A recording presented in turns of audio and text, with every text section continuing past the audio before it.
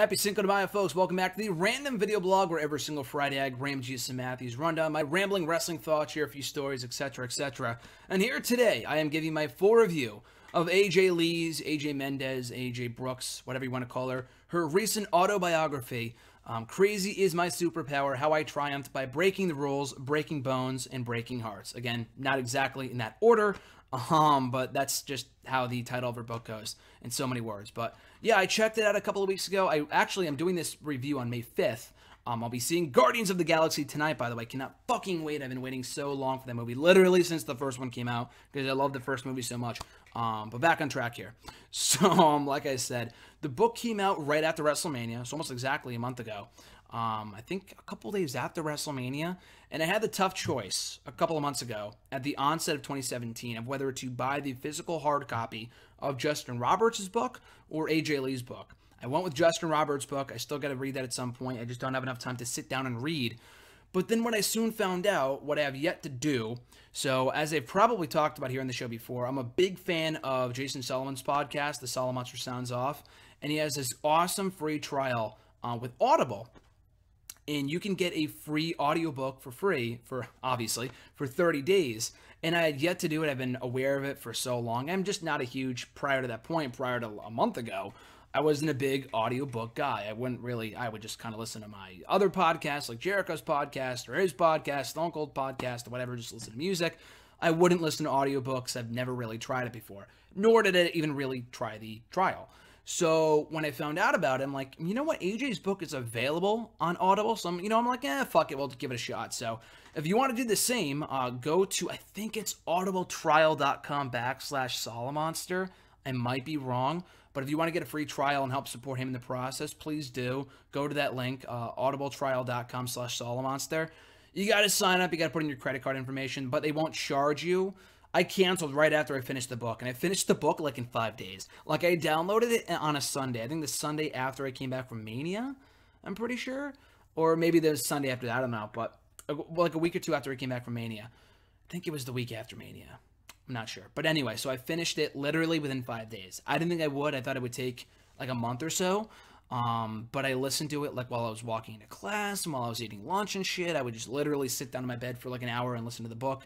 And then I finished that on Good Friday um, when I was just sitting down, hanging out. I'm like, you know, I'm just going to sit down and finish the book. I only got an hour left. I had a three hour drive home from uh, from school on Good Friday, so I finished the whole good chunk of it then. But yeah, it only took me five days. So if you're like me, you always have your headphones in. Audiobooks are great. I just can't justify right now paying 15 bucks or whatever it is for a month for like a for a subscription to Audible. So I canceled immediately after that was over. But if you want to do the same, I implore that you do. It's an awesome opportunity. But getting down to the heart of the matter here, AJ Lee's book. Um, obviously, as you could probably tell from the fact they scrambled to get the book.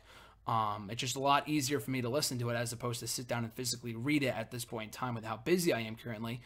Um, but I really wanted to check it out. I heard nothing but good things about it. Um, I've been a big AJ Lee fan since she arrived in WWE seven years ago on the that third season of NXT. Just fell in love with her from the start. Became a bigger fan down the line when she did the whole crazy stuff with Daniel Bryan and whatever. And the thing about it is that this book is like it's not even a wrestling book. Like I feel and I've been asked all the time, like, oh, do you read? I'm like, yeah, I do when I have the time. Like, what do you read? Uh, wrestler autobiographies? But it's nothing to be ashamed of. Like, you're still fucking reading. You're still learning something. I find wrestling autobiographies, because that's what I'm passionate about, to be absolutely interesting and intriguing, whatever, compelling and engaging. So anyway, um, AJ Lee's book, though, is not a wrestling autobiography. I would classify it. It's not like she waits for the final, like, two chapters, chapters to talk about her wrestling career. But a lot of her book, like the better half of her book, the, the better part of her book, is talking about her upbringing, which is fucking, you know, fascinating. It's fucking fascinating. And if you listen to any of her promos back in the day, like none of this was made up. Like when she would talk about even in NXT, like when she won the Divas Championship and all this other shit, she would talk about growing up and sleeping in cars when she was 10 years old and how much it meant to her to get to WWE, let alone to do all the things that she did. And that was not bullshit. She was not lying when she said that she lived in a car. Again, I don't want to spoil anything, but AJ Lee had a really AJ Mendez, uh, whatever you want to call her again, the sweetheart. She had a really, really, really rough upbringing. Um, her family was very, very. When I say poor, they were fucking poor, like dirt poor. Um, they had to move several times. They borrowed money from pretty much every relative they can get in contact with before they just cut them off and they moved. They literally moved into one of their relatives' house. I mean, I'll tell some stories here very briefly. Like they moved in like their uncle's house or something like that. And after like not milking them dry of their money, but they were using up like they were taking advantage of their relatives and they couldn't pay them back just because they were so poor. The family up and left. Like they just literally left one day and left the house to the to AJ's family. They weren't there for that long because again they couldn't pay for shit. They couldn't pay for like heat or for gas sometimes electricity and cable and stuff. But other than that, that was about it. But they got kicked out of there several times. They did have to literally live in their car. AJ, her two siblings, her brother, her sister, and um, she was kind of like the runt of the family. And then her two parents who fought a lot, and her mother was bipolar. So the title comes into play. Again, if you haven't heard about him, she's been all over social media. She's talked about in all these press conferences and stuff like that.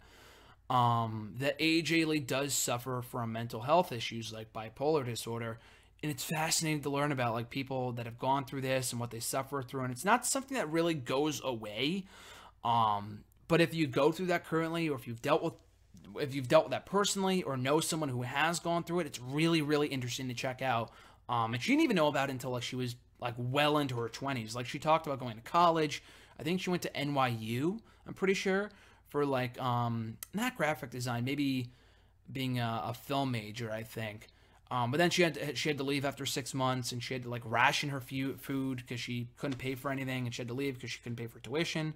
Then she was back out on her own. She was living on her own. She talks about wrestling. That was the only thing she ever wanted to do. Um, growing up, and how she kind of bonded with her brother, who kind of bullied her a lot and harassed her. But the only really thing that that, that brought them together was wrestling, and she eventually, obviously, fulfilled that dream on the indie circuit, and again, just making very little money. And she talks about all the health issues she's had when her house got broken into one day, when she didn't go to a relative's house, when they wanted her to go with her on like Easter or something like that. But yeah, it was again really eye opening to hear about these experiences. Like, holy shit, that's fucking crazy. And you really do not know what you have until you hear stuff like this, until you hear people who have been to absolute rock bottom and come out, you know, intact, have come out in one piece, have come out better than ever, stronger than ever. Uh, stronger than death, as my Matt Hardy raced my wrist bracelet will tell you. But um, yeah, again, her her WWE stuff is not not brief. She does go into detail. She goes into enough detail. I'll say that much. Like she doesn't spend the entire book talking about her WWE thing, and really, she was there for, only on the main roster for five years. I mean, that that, sounds like a long time, but like really, how much of that time was she really doing much of note? Like she was in NXT. She was in the main roster for like a year before she really did anything of note with Daniel Bryan. She talked about that, the whole crazy storyline. It's like typical WWE, giving this girl a, a bipolar, like a crazy storyline when she actually had ties to that in real life with like bipolar disorder. Like that's fucking messed up. Knowing the company, that's that's such a typical Vince McMahon WWE thing to do. But anyway, the fact that she wasn't comfortable with it, but she still did it anyway and mastered it, which is amazing. But she talks about that the stuff with Kaitlyn. She puts over Kaitlyn huge throughout the book.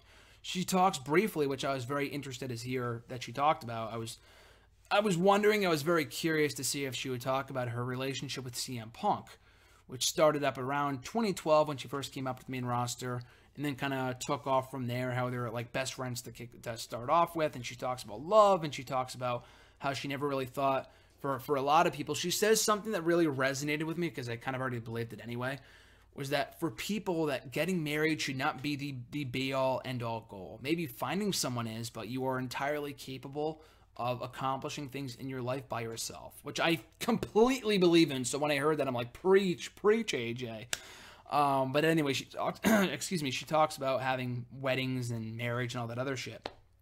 Not being the be all end all. Like if you don't get married, then who fucking cares, you know?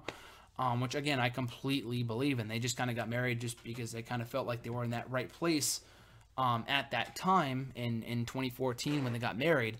And I, I again I listened to the audiobook. I think the actual book has like pictures and stuff, which is adorable. I love Punk. I love AJ, so I think they're a great couple. But again, that's just me. But yeah, she talks about that again. She doesn't go into too much detail. Kind of closes up quickly on the um, her retirement from WWE, and I think she started writing the book right after she left. So she doesn't really go into too much detail what she's been doing since. I think she's been writing the book in the two years since she left WWE. So she hasn't really been doing a lot other than like charity stuff and whatever. And she hasn't like done indies or anything. I don't think she would. she loved wrestling. She still likes wrestling. I think. I think she said she might be back at some point. Never say never. You know the typical wrestler response. Um, but yeah, just really interesting stories. So don't go into this book expecting like a, a, a be all, you know, a tell all book about WWE. She goes into a lot of interesting stories about how she was told by an unnamed unnamed producer who we all know is John Laurinaitis that basically told her that she wasn't fuckable enough, which is such bullshit. She talks about the women's revolution, which it kind of started it, to, to be honest with you. I mean, she was the first woman to be on a pay per view poster in several years. She was the first woman to be the general manager of a show, other than like Vickie Guerrero, but as a wrestler, be like a, a top notch authority figure, a main player in, in main roster storylines in many, many years.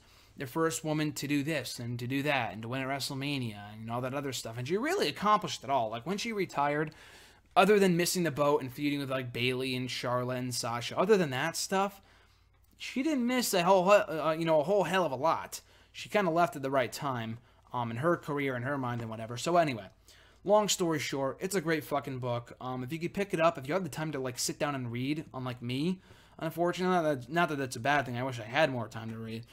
But um, if you can do that, buy the book, the physical copy. I love collecting books. I just don't have the place to put them right now. So the audiobook I thought was great. Um, like I said earlier, check out audibletrial.com. I think is the right link. audibletrial.com slash Solomonster to get a 30 free day trial. And I think you can keep the book no matter what. I'm about to delete the app as soon as I'm done filming this video. But I think you can keep the book no matter what because I think you still have your account, but you won't be charged after a month, from what I understand. But um, yeah, whether you're an AJ Lee fan or not, whether you're, you're a wrestling fan or not, it's a great fucking book. She deserves to be a uh, New York Times bestseller, which I'm pretty sure she accomplished not too long ago. So again, check out the book, whether it's an audio book, you read the book, whatever. I give it two thumbs up. Really, really enjoyed it. Definitely up there in terms of the uh, in terms of being one of the more compelling, engaging books I've read slash listened to in uh, in recent years. So check it out when you can. So uh, yeah, I do book reviews on the channel from time to time. I've done like one a year so far here. The, excuse me, here on the channel. Um, last summer it was the Jericho book. The summer before that was the uh, the summer before that was the Hulk Hogan book. So hopefully it won't be long before I do my next book review, whether it be Daniel Bryan's book or Justin Roberts' book. Like I said, I have it right here. I got Pat Patterson's book for Easter a couple of weeks ago. So when I have more time, when I'm done with college in a couple of weeks, hopefully I can uh, crank out more book reviews here on the channel. But I do other reviews here on the random video blog. I do top five lists. I talk about my favorite, you know, I review just random shit. Books, movies, um, favorite shit from pay-per-views and other wrestling-related material. So check that stuff out. I'm about to go watch Guardians of the Galaxy. I cannot fucking wait again. I'm super, super pumping, waiting literally over like a thousand days to see this movie. So I'm super fucking pumped to see Guardians in literally mere hours. So that being said, guys, enjoy Cinco de Mayo. Have a great rest of your weekend. I'm Graham GSM Matthews, and I'll catch you guys down the road.